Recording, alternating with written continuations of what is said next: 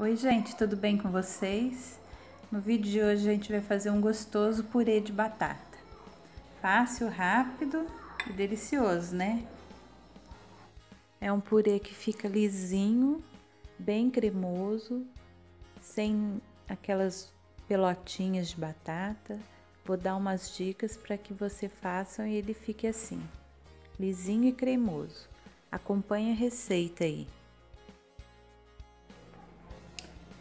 Então, eu descasquei duas batatas grandes, piquei e coloquei para cozinhar um pouco, cobri com água e uma colher, meia colher de sopa de sal.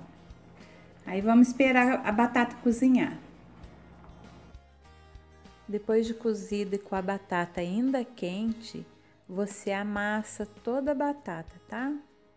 Eu tô amassando aqui com esse amassador próprio para amassar legumes, mas você amassa com garfo, como você costuma fazer purê. Aqui nessa leiteira eu coloquei para esquentar uma xícara de 180 ml de leite. O leite que eu vou usar para esse purê é quente. Aqui na batata ainda quente eu coloco meia colher de sopa de manteiga ou margarina se você não tiver a manteiga. Mistura bem a manteiga com a batata. E a hora que você for colocar o leite, o leite tem que estar tá quente. Essa é uma dica, viu, gente? Se você quiser que o seu purê fique cremoso, lisinho, sem grumos nenhum de batata, use o leite quente. É excelente. O purê fica super cremoso. Mexa bem já com o fogo desligado, porque tá tudo quente, não precisa é, esquentar mais, tá? Olha, tá pronto. Olha que bonito que fica. Fica super cremoso, gente, tá lisinho. Muito bonito esse purê. E eu não precisei colocar mais sal, tá? Porque eu já coloquei sal no cozimento da batata. A manteiga também tem sal, né?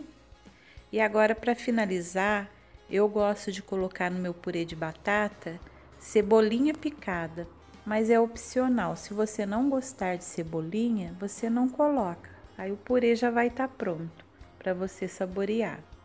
Eu, como gosto de cebolinha, do sabor que ela dá no purê de batata, eu gosto de colocar.